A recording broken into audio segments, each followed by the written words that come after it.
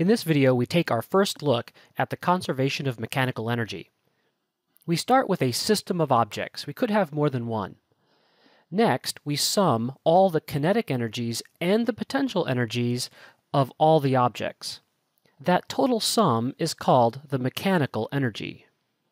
Now, if no net work is done by any non-conservative forces, then that amount of mechanical energy is constant. In that case, we say it's conserved, meaning unchanging. Let's take a look at how that works. I'm going to look at a person throwing a ball up in the air. At the moment that it leaves their hand, now of course not before, while the person is throwing it, if it's still in contact with the hand, the hand is a non-conservative force that is doing net work on the ball. If my system's the ball, I have to wait until it immediately leaves the person's hand. Well, at that moment, there's some velocity up, and I'm going to establish a coordinate system with the origin at that position and positive x up. I'm also going to establish the zero of my potential energy at x is equal to zero, the location where the ball is at this instant. In that case, there is no potential energy, and all of the energy is kinetic. After the ball goes up a little bit, it has slowed down, so it has less kinetic energy. It's at a different location now, so it has some potential energy, and the exact amount of kinetic energy it lost is now the exact amount of potential energy it's gained. Now, at the top, it comes to rest, which means its kinetic energy is zero, and now all of the energy is potential. And the amount of potential energy it has now is exactly the same amount of kinetic energy it had at the beginning. On the way back down, when it comes to that same location again, the split between kinetic and potential energy is the same. And then finally, right before it hits the person's hand, not after it does, but right before, it has the same speed it had before, going in the other direction, which means it has the same kinetic energy it had at the beginning and zero potential energy. I think it's useful to have this picture in your head of some finite amount of stuff that oscillates back and forth between kinetic and potential energy, where the amount of stuff in this energy doesn't change, just its distribution between the two types. Let's put in some numbers.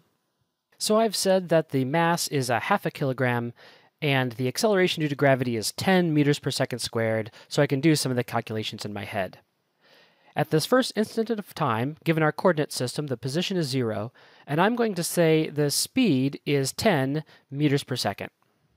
At the top of the trajectory, the velocity, of course, is equal to zero, and we can find how high it went using this kinematic expression where v final is zero. I can solve for delta x where the initial x is zero, and it's the initial velocity squared over twice the acceleration. 10 squared is 100 divided by 20 is 5 meters. Now you can ask, well, can't I use conservation of energy to find that? And yes, but I want to be able to see that. I'm going to use kinematics, which hopefully we believe is right, to be able to demonstrate to ourselves that energy is conserved. If I look halfway to the top, then x is equal to 2.5 meters, and I can again use kinematics to find the velocity. Using the same expression, v initial is 10 squared, and at this point, we have 2 times negative 10 is the acceleration times 2.5 meters. I get 100 minus 50, or v final is a square root of 50, which is about 7.07.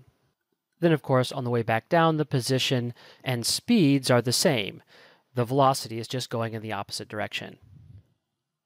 So let's do some calculations. The kinetic energy is 1 half mv squared, and given this coordinate system, and given the fact that I established the zero of my potential energy at x is equal to zero, then the potential energy is just the mass times the acceleration due to gravity times the position.